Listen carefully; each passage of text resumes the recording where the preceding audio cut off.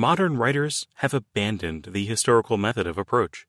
They persist in confusing the question, what they might have wished that Jesus had been, with the question, what Jesus actually was. In reading one of the most popular recent books on the subject of religion, I came upon the following amazing assertion. Jesus, the author says, concerned himself but little with the question of existence after death. In the presence of such assertions, any student of history may well stand aghast. It may be that we do not make much of the doctrine of a future life, but the question whether Jesus did so is not a matter of taste, but an historical question, which can be answered only on the basis of an examination of the sources of historical information that we call the Gospels. And the result of such examination is perfectly plain.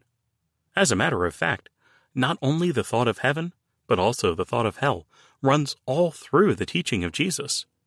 It appears in all four of the Gospels.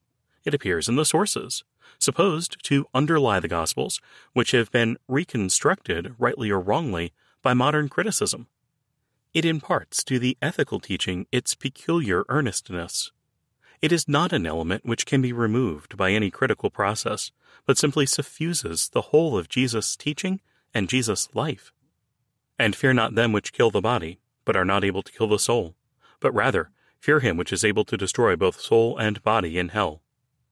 It is better for thee to enter into life with one eye, rather than having two eyes to be cast into hell fire. These words are not an excrescence in Jesus' teaching, but are quite at the center of the whole. At any rate, if you are going to remove the thought of a future life from the teaching of Jesus, if at this point you are going to reject the prima facie evidence, surely you should do so only by a critical grounding of your procedure. And my point is that that critical grounding is now thought to be quite unnecessary. Many modern writers simply attribute their own predilections to Jesus, without, apparently, the slightest scrutiny of the facts.